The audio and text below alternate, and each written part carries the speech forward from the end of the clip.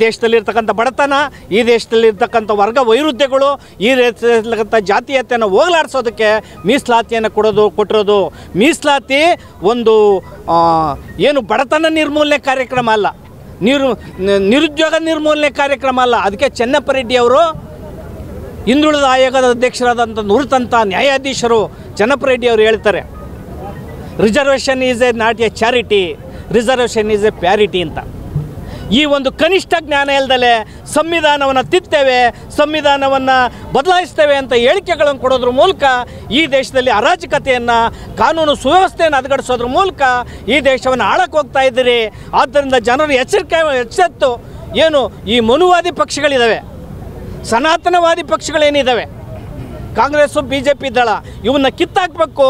ಮತ್ತು ಅಂಬೇಡ್ಕರ್ ಆಶಯಗಳನ್ನು, ಅಂಬೇಡ್ಕರ ಮತ್ತು ಸಂವಿಧಾನದ ಪರಿಕಲ್ಪನೆಯನ್ನು ಈ ದೇಶದಲ್ಲಿ ಬೇರೂರಿಸ್ಬೇಕು.